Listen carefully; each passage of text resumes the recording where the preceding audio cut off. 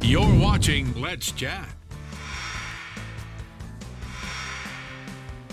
Make sure and join us coming up this Friday, May 7th. It is the 72nd annual Armed Forces Day Parade right here in Chattanooga. And as he has done now for a number of years, here to tell us all about the parades, our friend Mickey McCamish. Captain Mickey McCamish, good to see you, sir. Good to see you, Chip. And you know, Chip, you're right. It's been several years, and we've been working together. You as emceeing the parade, calling all of the units, and gosh, we tried to work your voice out. We've got about 120 units right now this year, Chip. Wow. Big improvement from last year. We had the parade, but it was, I believe you called it a mobile parade, correct? That's correct, Chip. It was a mobile parade, and this year we'll be back to a regular parade. Now, we encourage people to follow the Hamilton County Department of Health guidelines, social distancing, mask if they feel comfortable with it. But just follow those guidelines, and we'll have a normal parade, and everybody will come out and enjoy the parade. You mean like using a little common sense in public? a common sense and an outdoor and an outdoor parade. So, Amazing. Yeah. Uh, and this year you said you had how many entries into the parade? We've got 120, Wow. Chip, and we'll take entries right up until Thursday, uh, right before the parade. What's going to be the biggest difference between this year's parade and last year's mobile parade? I think the biggest difference is just being out and having the uh, units perform as a regular parade, Chip.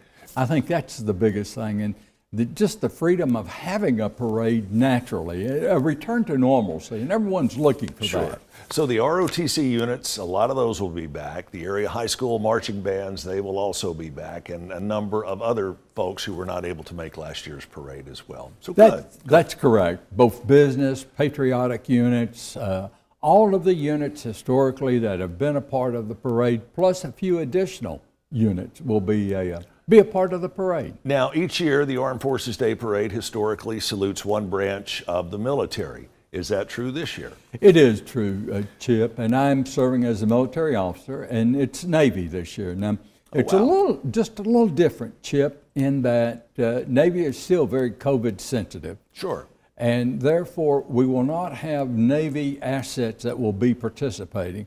Vice Admiral Ron Etchinson will, will be the parade uh, marshal, so he will be uh, participating. But uh, because uh, Navy is still very, very COVID sensitive, Chief of Naval Operations, the number one sailor, will not be participating this year. Wow. It uh, hopefully next year we'll be back to the fully blown parade that we have come to grow up with and love for years and years. But again, the parade specifics are it'll get underway this Friday morning starting at At 10:30, stepping off from ML King and Market Street at 10:30, and then followed by the luncheon at noontime at the Convention Center with Congressman Mark Green as a keynote uh, speaker.